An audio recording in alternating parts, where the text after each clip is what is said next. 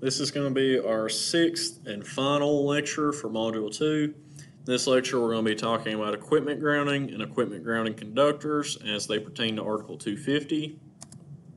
Our objectives for this lecture, we're going to identify the NEC requirements for equipment grounding, identify NEC requirements for equipment grounding conductors, list accept acceptable types of equipment grounding conductors, and use Table 250.122 to size grounding conductors. For definitions, a grounding conductor, equipment, or an equipment grounding conductor, the conductive path or paths that provide a ground fault current path and connects normally non-current carrying metal parts of equipment together and to the system grounded conductor or to the grounding electrode conductor or both. Uh, essentially, you can think of an equipment grounding conductor as the conductor connecting equipment or normally non-current carrying metal parts of different pieces of equipment to the grounding system. And equipment, a general term including fittings, devices, appliances, luminaires, apparatus, machinery, and the like used as part of or in connection with an electrical installation.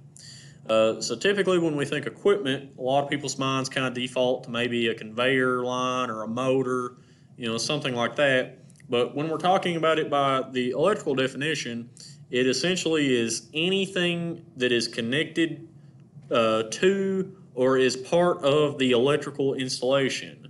So anything that connects to the electrical system in any way is defined as a piece of equipment.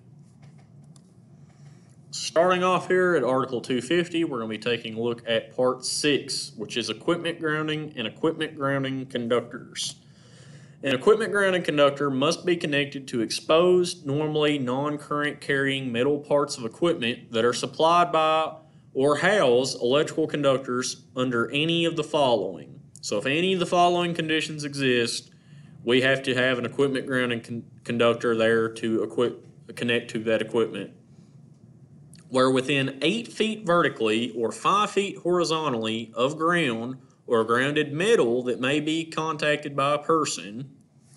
Uh, and this is kind of typically the definition I go by of likely to be energized. So is it within 5 feet, if it's within this distance of a conductor, a current carrying conductor, I personally typically consider that likely to become energized. Um, but as far as this scenario, this is the actual definition of when we have to use equipment grounding conductor. We're not isolated in, in a damp or wet location. We're electrically contacting metal. We're in hazardous locations, and we're supplied by a method that provides an equipment grounding conductor other than is permitted by 250.86 exception 2. So under any of these conditions, we have to connect that piece of equipment to an equipment grounding conductor and equipment operating at 150 volts to ground, at over 150 volts to ground. So talking about our equipment grounding here for specific equipment, exposed, normally non-current carrying metal parts of equipment listed in 250.112A through M must be connected to an equipment grounding conductor. So regardless of whether it meets any of those requirements we previously talked about, if it is listed in 250.112A through M, it has to be connected to an equipment grounding conductor. Exposed, normally non-current carrying metal parts of cord-connected equipment must be connected to an equipment grounding conductor under any of the following conditions. So once again, regardless of whether it's a piece of equipment in 250.112A through M, and regardless of whether it meets any of the criteria we previously talked about. If it's supplied by a cord, uh, it has to be grounded under any of these conditions, where it's in a hazardous location, where it's operating at over 150 volts to ground, and spec specified equipment for residential and non-residential occup occupancies. So we talked about the uh, circumstances where we have to have an equipment grounding conductor and specific equipments that require equipment grounding conductors and situations and all that. So now we're going to talk about what we can actually use as an equipment grounding conductor when we run into those situations or those pieces of equipment. So th- these are the types permitted of equipment grounding conductors. All the following are acceptable for use as an equipment grounding conductor. So any of these that we have listed here, we can use as an equipment grounding conductor. A copper, aluminum, or copper clad conductor of the wire or bus bar type, RMC or rigid metal conduit, IMC or intermediate metallic conduit, EMT or electrical metallic tubing, listed FMC or flexible metal conduit under specific conditions, listed liquid tight conduit under specific conditions, and cable tray per 392.10 and 392.60. Um, now, for these specific uh, requirements and conditions, you can go to 250.118 in your code and read more on that.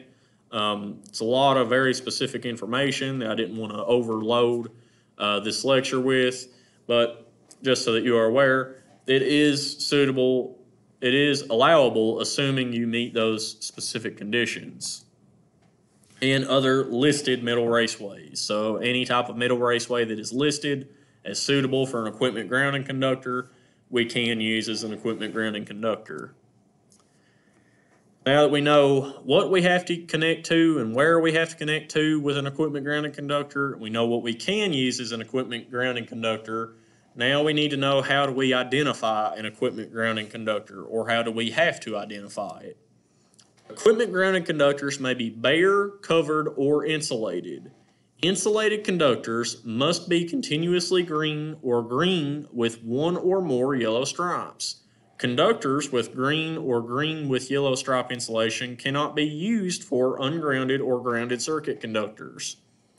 In other words, the only type of insulated conductor we can use as an equipment grounding conductor is a green or green with a yellow stripe conductor, and we can't use a green or green with a yellow stripe conductor for anything but an equipment grounding conductor. Uh, the only exception we have to that is that for equipment grounding conductors for AWG and larger, they may be identified as an equipment grounding conductor at both ends in every accessible location at the time of its installation. The identification must encircle the conductor and must be accomplished by one of the following so similar to back when we talked about our grounded conductors, the way we can use, you know, I mentioned using a white or gray electrical tape to identify it at its terminations. Uh, here we have for equipment grounded conductors, we can do the same thing. However, we do have the added rule of at every accessible location, it also has to be marked. Uh, meaning if we have it installed at a, in a cable tray or in a junction box, it also has to be marked at those points as well. And it also has specific ways that we have to identify it, which are the following. Uh, stripping the insulation from the entire exposed length, so essentially making it a bare conductor, coloring the insulation green, or marking the insulation with green tape or labels. Uh, so these are the only ways we're allowed to identify that as an equipment grounding conductor. Moving on from that, talking about the size of the equipment grounding conductors. We've talked about these other factors about it. Wire type equipment grounding conductors may not be smaller than as shown in table 250.122. In no situation is an equipment grounding conductor required to be larger than the supply conductors or the ungrounded conductors.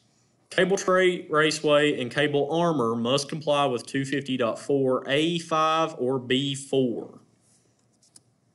Where ungrounded conductors are increased in size from the minimum size required for the intended installation, if a wire type equipment grounded conductor is used, it must be increased in proportion to the ungrounded conductors according to the circular mil area of the ungrounded conductors. A lot of information here. Main takeaways for our first bullet point are we have to size equipment and grounding conductors using table 250.122 and regardless of any type of situation, they never have to be larger than the ungrounded conductors. For our second point here, it's telling us if for whatever reason we have to upsize the ungrounded conductors. Uh, we'll be going over the over upsizing conductors for various reasons in a later uh, lecture in a later module. Uh, but for instance, just uh, for the sake of argument, if we're having to increase them due to voltage drop, so we're using we're supplying a 20 amp piece of equipment with a normally 20 amp size rated ungrounded circuit conductor. And we have to increase it from, say, a number 12 to a number 10 due to voltage drop. We have to increase the equipment grounding conductors of that circuit proportionally.